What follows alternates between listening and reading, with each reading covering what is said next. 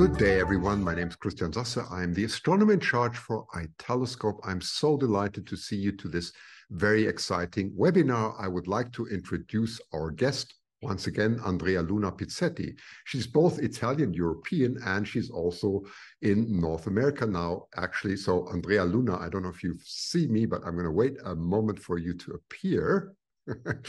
she's probably, she might have some computer problems. There you are. Very nice to see you again. So, Andrealuna is from Clemson University in South Carolina. Is there anybody else from South Carolina? So she is both the Europeans from the Italian side. We were talking about the wonderful cafes they have in Europe, which we miss very much in North America. And also, she is nearing the the completion of her PhD. Is still a few months to go, but you know how difficult all this is. Anyway, four months ago, and I've just put the link in, Andrealuna was talking about black holes and revelations. It was very exciting. So be, please take a look at that and take a look at all the other really very informative webinars that we've had. It's it's been quite an interesting community, and I think we have a lot of good value there. So please don't miss out just going through them. Everything we do there for education is free. Andrealuna, now to you and the very interesting talk on Seyfert galaxies. So it's about very active galaxies, so it's very exciting. So I'm going to hand it over to you without any further ado. All right, thank you, Christian. Uh, yeah, so as Christian says, I'm so I'm Andrealuna. Hello, everyone. Uh, thank you for being here again on my second talk. Um, so last time I gave more a more um, background kind of talking where um I was talking about how like we create like we go from star forming region to uh black holes and supermassive black holes. And today's talk is going to be more about um, what I do in my research here at Clemson. As Christian said, um, I am from Europe. I'm Italian. I'm from Italy. I, I got my bachelor degree in uh, astronomy at the University of Bologna. And then in 2019, I moved here in the United States where I'm pursuing my PhD in physics. And hopefully at the end of this academic year. So by May 2024, I'll be done with this damn PhD. All right, let me share my screen and we can start. Okay, so today talk is going to be about how X-rays reveal the secrets in Seyfert 2 galaxies. Uh, don't worry if you haven't heard, if you have never heard about Seyfert 2 galaxies, because I'm going to talk about them today. I'm going to explain you what they are. So this is um, um, this is an outline of um, today's presentation. I'm going to give you an AGN background. Uh, so we're going to talk about active galactic nuclei, and understand what they are and why do we care about them. And then I'll talk to you about the line of sight variability project that it's actually what I'm working on right now here in Clemson. So I'm going to talk, I'm going to explain to you the method, uh, what has been done and the work in progress. So let's start with the aim of my research. So why do I care and why do I am doing the research I am doing? So uh, the whole point uh, is to understand the geometry and the morphology of AGN obscuring material uh, using uh, X-ray variability study. So um, my research focuses on the uh, on the use of X-rays um, and so X-ray data I collect collect not I collected collected by X-ray telescopes that are orbiting, of course, because we know X-ray cannot penetrate the um, the atmosphere, thankfully. um, and so I use data from X-ray telescope to study the variability of uh, these sources I'm going to talk to you about right now because we need uh, to better understand their structure, the inner structure, and um, the geometry and the morphology. Let's remember that uh, our galaxy, the Milky Way, was an active galaxy year, many years ago. Uh, that means that as active galaxy, we mean a galaxy that is accreting matter that has a supermassive black hole at its center, and the supermassive black hole is accreting matter. So the Milky Way has a supermassive black hole at the at the center, but right now, uh, Sagittarius A star, that's the name of the supermassive black hole at the center of the Milky Way, it's not um, accreting matter, but it was in the past. So we And so uh, we are analyzing galaxies in the nearby universe, so kind of close by, astronomically speaking, who are accreting matter at their center, and we try to understand what is the structure uh, surround of the matter surrounding the supermassive black hole. Okay, let's start with asking yourself, what is a, this AGN I've been talking to? I've be talking about. So an AGN is an active galactic nuclei, and as I said before, it means that we have a supermassive black hole at the center of a galaxy that is accreting matter. Uh, in here in this slide, we have a schematic uh, cartoon, a schematic representation of uh, how AGN look like. Um, in all AGN, we have these features, this common feature we have a supermassive black hole at the center. We have an accretion disk of that, that is basically made of matter and gas that is accreting onto the supermassive black hole. We have clouds close to the accretion disk that are called uh, that form the so-called broad line region. And it, uh, we call it that way because the optical spectra that comes from the gas in that region has broadened lines. These liners are broadened because since the gas is so close to the um, the gas is moving faster uh, is moving very fast since it's so close to the uh, black hole above and below the accretion disk we have the uh, corona it's uh, the hot corona is um, a structure made of relativ relativistic electrons. Um, and this structure will remember these things because we I remember the corona because we will uh, come back on this structure. Um, the actual size and dimension and uh, uh, geometry of the corona is still an open question in um, in astrophysics. We know it's there, but we don't really know uh, what is the size and the shape of the structure, and there are studies that are more related to this. Around uh, all of this, we have the torus. Uh, torus, as the name, um, this is that donut-like shape. Uh, so uh, that uh, we have this toroidal structure made of gas and dust that obscures, uh, covers the inner part, the innermost part of the um, galactic nuclei. Then farther away, we have the narrow line region, the NLR. Um, and again, here in narrow line region, because when we take an optical spectra of this region, we see that the lines are narrow. When uh, we were talking about the broad line region, in this case, we have gas that's closer to the black hole. It's hotter there, it's warmer, so we have gas moving faster, and the line, the emission lines are broadened. While in this case, the gas is still excited, but since it's farther away from the black hole, the temperature are a bit less and the uh, lines are narrow. And then in 10% of the cases, we have jets. Uh, so jets can be there, but like as I said, as just said, only in 10% of the cases we have uh, active galactic nuclei with jets. Uh, depending on whether they have jets or not, and on the line of and the and the, on the angle of viewing of, of the observation angle, AGN can be classified in different ways. So, uh, if uh, we have a certain um, uh, usually when we have jets, they are called radio loud galaxies, and when they are when they don't have jets, they are called radio quiet, or radio quiet, even if they may have a jet, but that jet is not that powerful. In the case we have radio loud uh, galaxies, we call them blazar when we are looking directly through the jet. So basically, in that in those galaxies, the only thing we can see is the jet that's pointing uh, toward the Earth. Uh, when we are looking uh, on an inclination angle that is around like 30, 45 degrees, we call them radio loud quasars. And when we uh, don't look, when we are actually looking them basically edge on, we call them radio galaxies. Um, in the case we don't have jets, those galaxies are called Seyfert galaxies, and they uh, are divided in Seyfert 1 and Seyfert 2s. Um, we call them Seyfert 1 if you're able to see the inner part of the uh, of the galaxy. So we actually uh, the we're the this the torus is not obscuring our line of sight, and we can actually see the broadline region and the accretion disk directly. While we call them Seyfert twos, in the case we have the uh, we are in we have um, the torus obscuring the inner part of the galaxy.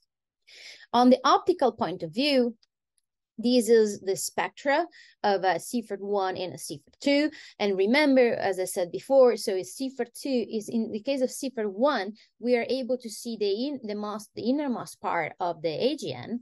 And indeed, in the optical spectra, we have these broad lines. You see how these lines are actually broadened with respect to the others, while these are the narrow line in the case of Seyfert 2 is instead since the um, the the inner part the, the innermost part of the galaxy are um, obscured by the, the by the torus we don't see the broadline region. And indeed in the optical spectrum we only have narrow line region.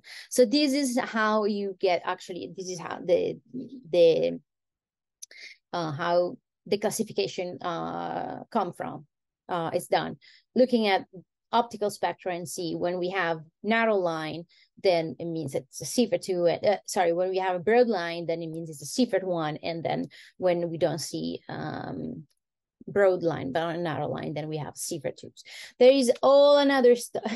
we also have uh, all other um between Seyfert 1 and Seyfert 2s there are like all other classification because we can have uh narrow lines Seyfert 1 so but I'm not going to go into this further details as we are as um, as me and my team, my team and I, like my team, the research group I'm working with, and I are interested in Seyfert two galaxies. So in this one, in where we know that the torus is obscuring the uh, inner part, because we want to uh, understand what's going on in the torus, what is its structure, and what it's made of. Um, Seyfert 2 galaxies are further classified into subclasses again, uh, depending on the density of the gas, uh, depending on the column density of the gas that uh, it's uh, in the torus. So if uh, when this gas has a column density that's above 10 to the 22 per centimeter squared, we call them obscured AGN or Compton thin. AGN. And when the density increases and goes above 10 to the 24 per centimeter squared, then we call them Compton thick AGN. Okay, so uh, these are the uh, the two for the classification, and and so this is where I'm gonna refer to Compton thin or Compton thick, depending on whether the density is above 10 to, is between 10 to 22 and 10 to 24, then it's a Compton thin, when it's above 10 to the 24 is a Compton thick AGN. But let's now see how the obscure material reprocess the radiation, because that's what we are actually looking at, right? So we have the accretion disk here, this red line here, that is emitting uh, a multicolor black body in the ultraviolet. So the accretion disk principally mainly emits in ultraviolet. This ultraviolet um, radiation gets absorbed and re-emitted by the dust in the torus. So ultraviolet radiation gets absorbed by the dust and re-emitted in infrared. And uh, this ultraviolet radiation gets upscattered via inverse Compton scattering uh, by the relativistic electrons in the hot corona I was saying before. And this is how X-rays get generated. So the X-ray I am observing gets generated this way by the upscattering of the UV uh, um, photons generated by the um, accretion disk. These X-rays then get reprocessed by the torus in three different ways. They get reflected, they get transmitted, uh, and scattered. So reflection is has its uh, so like um, in this case, electrons, uh, the photons get uh, reflected by the um like like if there was a mirror right they get reflected by the uh, the dust and the gas in the torus and in the accretion disk.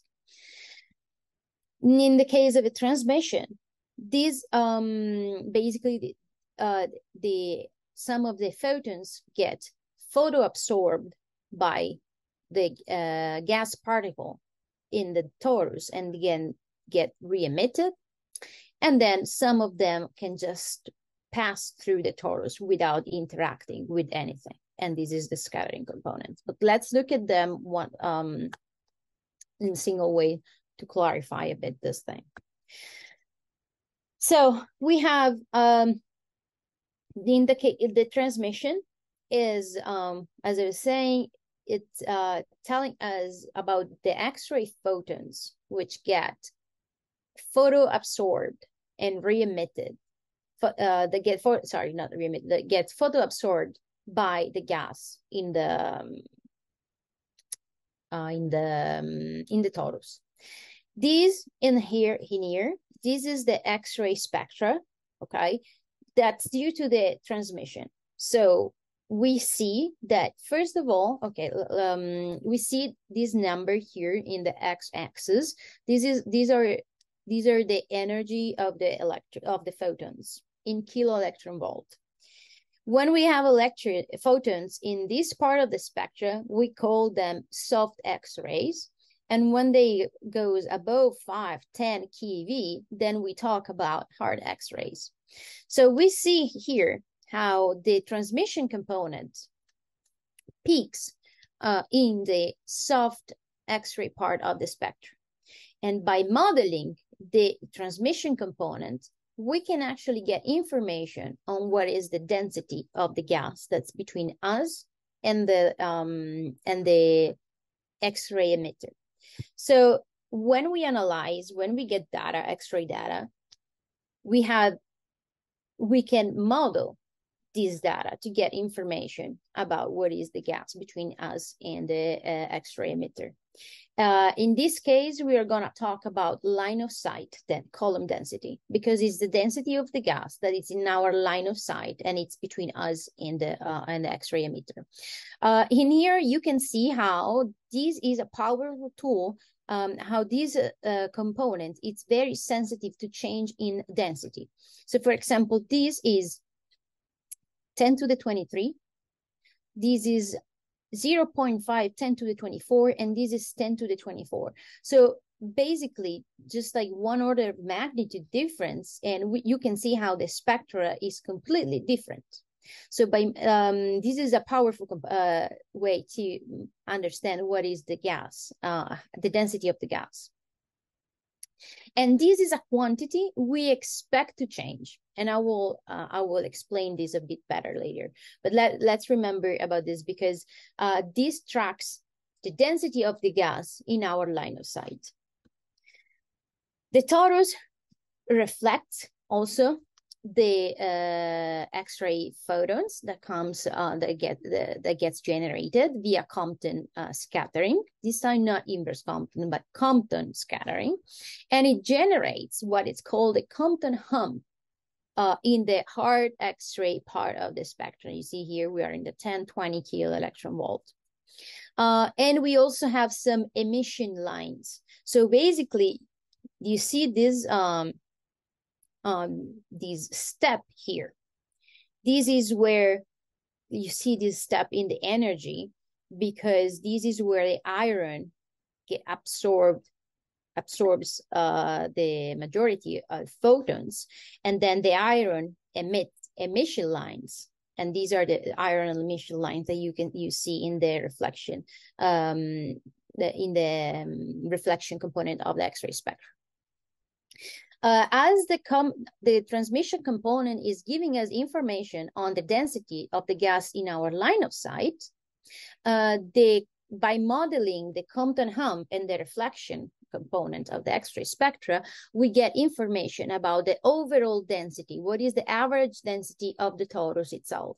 We have information on that, on the opening angle. So basically we can tell how um, geometrically thick the torus is and how physically thick in the sense like we can actually get some uh, information on overall density since the uh, the uh, reflection is giving an, is giving us information about overall quantities of the torus itself, we don't expect this quantity to change with time, at least not like in a short time scale uh, of like 20, 30 years. And at the end, we have the scattering component that, as I was telling you before, is just the amount of um, uh, radiation that passes through the torus without interacting or interacting elastically with the, the gas particles inside that. So basically what we see here is just the main power. It's just a power law that is uh, what is generated by the inverse Compton inverse Compton scattering. So basically, this has the same shape. It's telling us what is the shape of the radiation at the uh, the moment it was generated. Okay, so when we put together all these three components, the transmission, the reflection, and the scattering, we get what is the observed spectrum of uh, uh, AGN in the X-rays. Uh, and it's this black line. I didn't mention the magenta, the, uh, the this thermal emission, this magenta, that uh, the, the magenta here. Um, this is a component we actually see in the X-ray spectra of an AGN, but I didn't mention it before because it doesn't depend on the AGN itself, but is the emission that comes from the host galaxy. So this is the hot gas in the hot, uh, in the host galaxies. Uh, so like we have thermal Bremsstrahlung and emission lines that peaks like in the soft part of the X-ray spectra, so we see them, but they they don't depend on the X-ray on the on the um, AGN itself. So you can see how one order of magnitude difference in the density of the torus actually gener gives two completely different uh, X-ray spectra. So basically what we do is we model the X-ray spectra and we get information on the geometry, on the um, on the geometry, on the um, geometrical thickness of the torus, and on the overall densities, and on the density of the clouds that are of the gas that is between us and the X-ray emitter. So let's talk about a second about the morphology of the obscuring material. So at the beginning, um, uh, it was thought like um, this uh, torus uh, was is was assumed to be uh, homogeneous, and this is because assuming something homogeneous in such a, a um, difficult in such a, a complicated structure, it's the easiest way to go with to go to. But then observations are telling us that these the torus is not homogeneous at all, but is clumpy. It's made of clouds of different densities. We have um, the first um, um, insight about that was given by Krolik and Begelman in 1988, um, in where they they were the first to conclude that the torus is likely to be clumpy rather than homogeneous and uh, uh, that the geometrical thickness was kept by viscous heating. So it's a cloud to cloud interaction. I may say that the ge- like the reason on the geometrical thickness, so the dynamics of the clouds in the torus is still a big open question in a in the astrophysical community. I mean, we still do not have any uh, physical model that explains why, like in a very strong way, why the torus is actually uh, it's thick and uh, because the models that are now actually um, yeah you can start with the thick torus but you that torus it's gonna eventually collapse in sim- at least this is what simulations show uh, so basically we don't really we don't really know what is the dynamics behind the um the geometrical thickness of the torus. We know it's like that but we don't know why. And the one and this is one of the things like that is aiming my research a lot. Um then Risaliti in uh, 2002 and 2005 in two papers he uh, show he saw rapid Compton thin Compton thick uh, transition in uh, a Seyfert galaxy NGC 1365 uh, and these also suggesting that the absorber um the so the the absorber the the um, the, the clouds that are absorbing the uh, the radiation may must be very close to the center um but still this these are all this is suggesting that are telling us okay maybe it is it's very likely the torus is clumpy and it's not a homogeneous structure. Uh, Schartmann et al. in 2005 found different uh, temperature of the dust because remember that the torus is made of gas and dust. We, in my case, in my research, I'm more interested in the dust, uh, but there is um, actually we have one of the uh, um, guys today here. Uh, one of the the other participant of the talk that is um, um, was my colleague in Bologna, and he's more interested interested in the dust. He does AGN, but like on the infrared point of view. So let's remember that uh, we have also the dust. And uh, if we study the, the torus in infrared, we see that we have different uh, dust temperatures found at the same radii. And this is possible only if we have clouds. If the, uh, the medium is homogeneous, then at each uh, radii, you should have one, only one, uh, one or like very small range of temperature uh, of dust.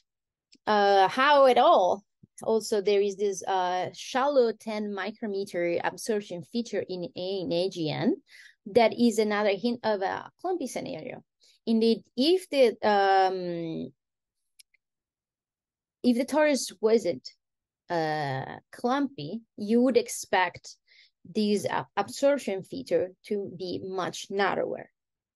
And then finally, uh, in uh, in 2008, Nenkova uh, was the first to propose um, um, an infrared model for clumpy torus that was actually able to reproduce observations. And the majority of X-rays um, models are based on this Nenkova 2008 model. Um, Zhao, uh, um, Xiurui Zhao is a former uh, ex um, PhD student here at Clemson, um, and he worked analyzing uh, more than a hundred of Seyfert-2 galaxies. And what he saw is that uh, the the main, I mean, the main um, results uh, of his of his study was that one of his main uh, one of the one of the main results of the study is that uh, you have the the the average uh, um, density that you find in, in the torus in the tori is different than a line of sight column density that you get. So basically, what it's telling us is that um,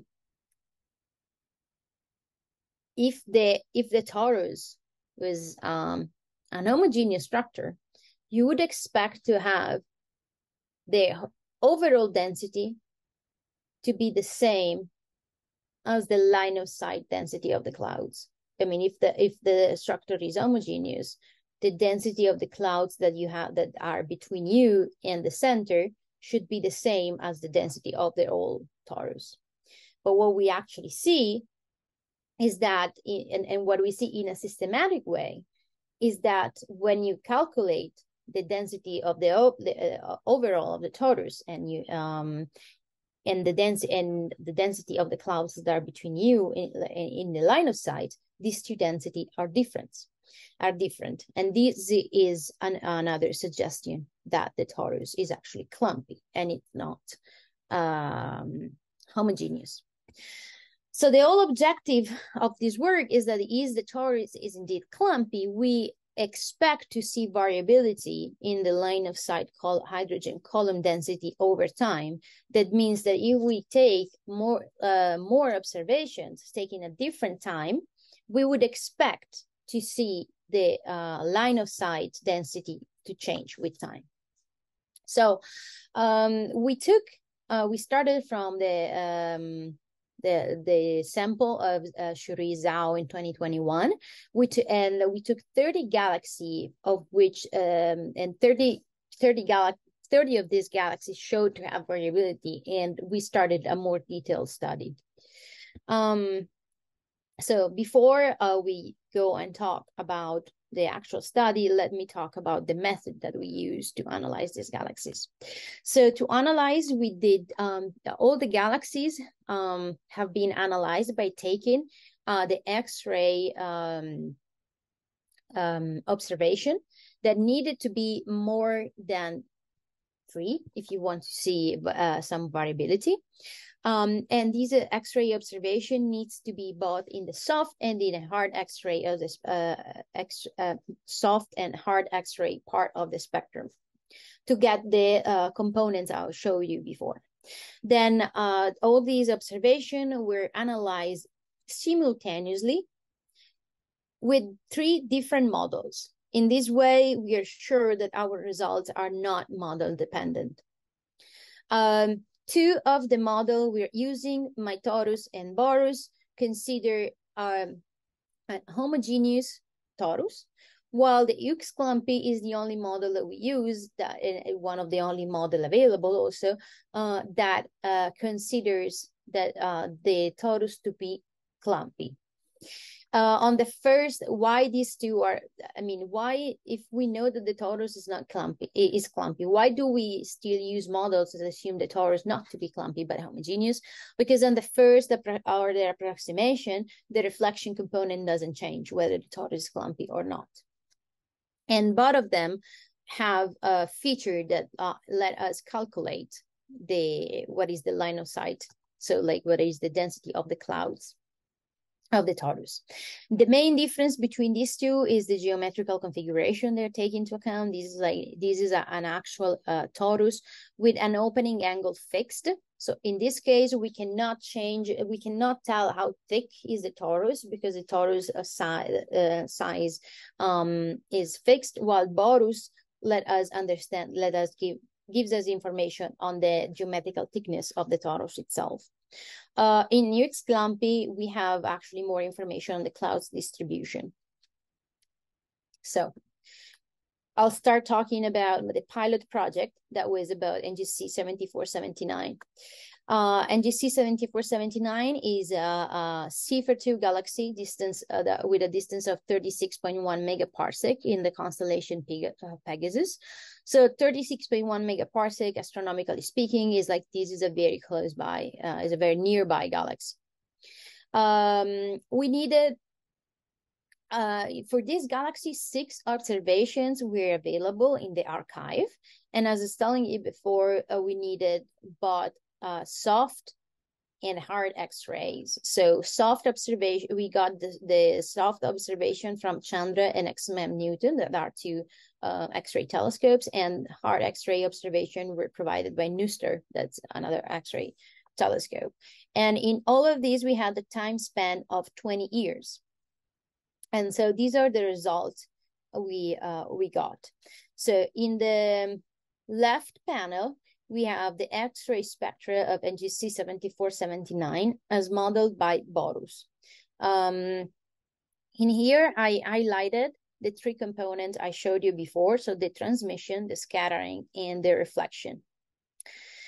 The different colors are the different data point from the uh, um, the three different observe the six different observations. So we have NuSTAR, extra, uh, and XMM and Chandra here. So that's the the color the color code, and the green line is the overall best fit model that we got for this galaxy, for Borus at least. On the on the right panel here, we have how the line of sight column density changes with time so here in here we have the column density and here we have time. And these data points are the points we got from the six different observations. The three color uh, define the three models.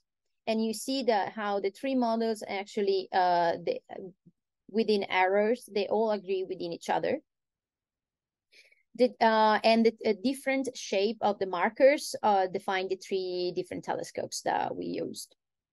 These two lines here, the orange and the magenta one, are uh, define the average column density of the torus. as uh, modeled by Borus and uh, Torus. I have to say that UXCLUMPY is not here because at that time, uh, UXCLUMPY is um, doesn't allow to um, calculate the average column density of the torus. But I'm working with the um, um, with Johannes Buchner, that is a developer of uh, UXCLUMPY, and uh, actually we're will a, paper will be published soon on this new feature that is like allow you to calculate the to generate the average column density of the torus uh, with UXCLUMPY. So let's see what information we can get from these two uh, plots. So first of all, here we see that the average column density of the torus lies above the single cloud's density. So this gives us two information. One, these two are different. So it means the torus is clumpy. If the torus was homogeneous, these two quantities would be the same. Second, we have that the overall torus is much more denser than the clouds that create the torus. And so how is that possible? And here I will explain you in the next slide. We can actually see this in the spectra in where we have the reflection component that is above the transmission component. That means that this is what we call a reflection dominated spectrum. And we have these when we have heavily Compton thick uh, sources. So as you can see here, this is 10 to the 24. So we are in the Compton thick regime. We only have this observation that may go below. But yeah, like with within error, we don't know where actually it is. And we see that the cloud's density is changing with time. Again, if the torus was um, homogeneous, this quantity wouldn't change with time and it would be the same as the average column density of the torus. In here, we have uh, a, a, schematic cartoon of what the torus of NGC 7479 we think looks like.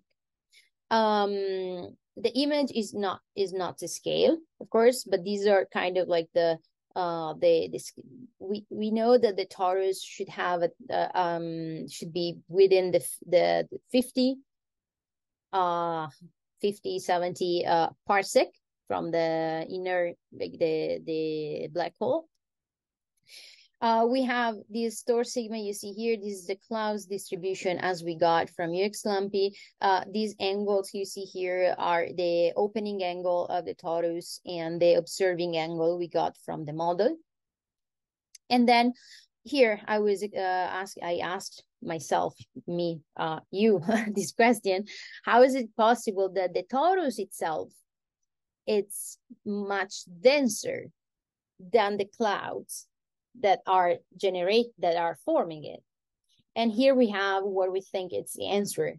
Uh, here, uh, so um, UXCLUMPY uh, model allow us to include this inner ring of Compton thick clouds uh, with a column density that's above 10 to the 25 per centimeter squared.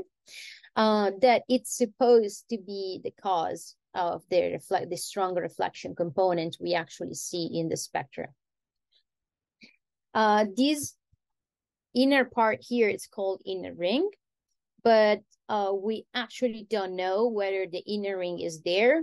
What is its shape? What is its shape? If it's actually a ring, if it's a disc, we don't know. So what we did was like to um, ask for ALMA time last year and this year. And last year I got accepted. This year I didn't, but it's okay. I'm going to try again next year.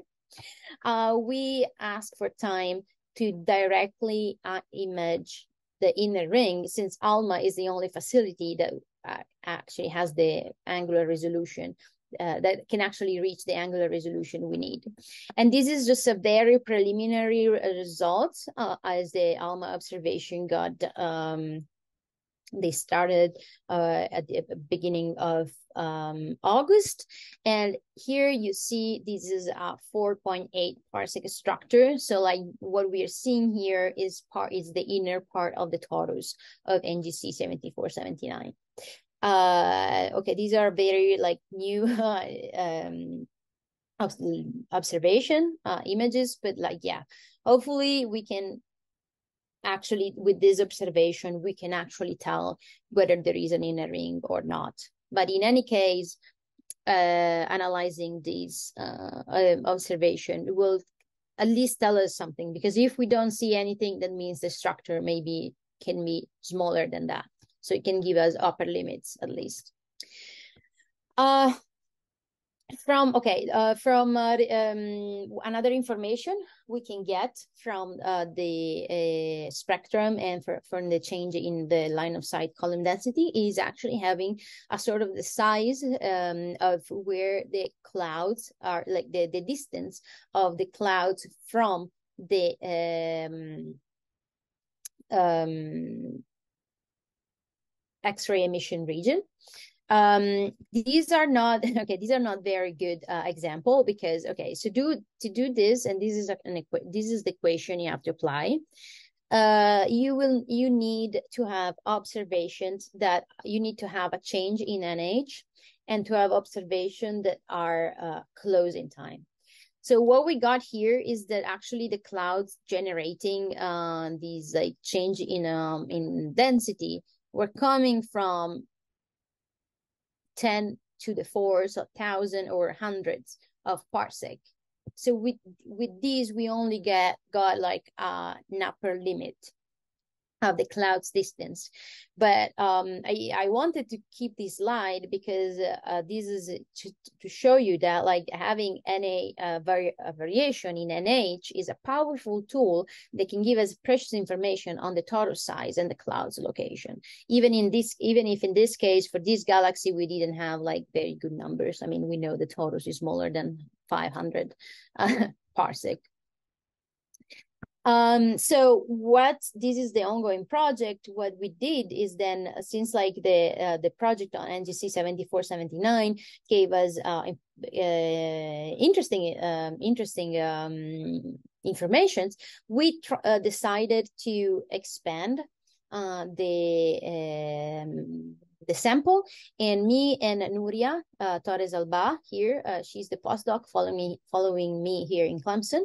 We are analyzing the the other 30 sources of the of the of the sample. And uh, so some preliminary results we're seeing here. She already published the paper. So if you're interested in reading her paper, please take this reference, uh, Torres Alba 2023, um, in where she's um, presenting half of the project. Uh, I'm working on the paper to present the other half of the of the of the project. Um, these are some preliminary results, and these uh, what I I color coded here are the main behavior we've been seeing in the galaxies. Uh, so in some case we have here the density of the clouds. So in this case, and like in these two cases, you see the clouds density is actually changing very quickly and uh, the clouds are denser than the torus. Um, then you have, but still Compton thin. Then you have, in this case, where you have the density of the uh, still very similar to this, but you see you don't have any any change in the density of the clouds. You have cases like NGC 7479 in where the the torus is denser than the uh, than the clouds themselves but still the density of the clouds doesn't match the density of the torus. And you also have cases like this one in where the density of the clouds matches the density of the torus. So overall, what we can say is that what we see um, happening more often is that the column then the, the, um, the line of sight column density it's usually above or below the average column density of the torus and this tells us the torus is actually clumpy uh, and also it's like the the the medium that is um, responsible for reflection and the medium that is responsible for absorption are actually two separate regions inside torus. I leave you. This is my team. Uh, this is uh, the team I'm working uh, with. Uh, it's divided in uh, Clemson and INAF. INAF is the Italian Institute of Astrophysics. Um, in um, these are people from uh, these are people from the University of Bologna. Uh, this is my, uh, the, the team I'm working here. Uh, this Mar- this Professor Marco Ajello is my advisor. Ross and Xiurui are not in Clemson anymore. They got their PhD, so they moved out of here. And um, Nuria is my postdoc, and uh, yeah, there is me and Isaiah uh, otherwise working. Um, if you're interested in knowing more about our project, here there is a QR code you can you can uh, you can scan. And uh, I hope you enjoyed this talk, and thank you for your attention.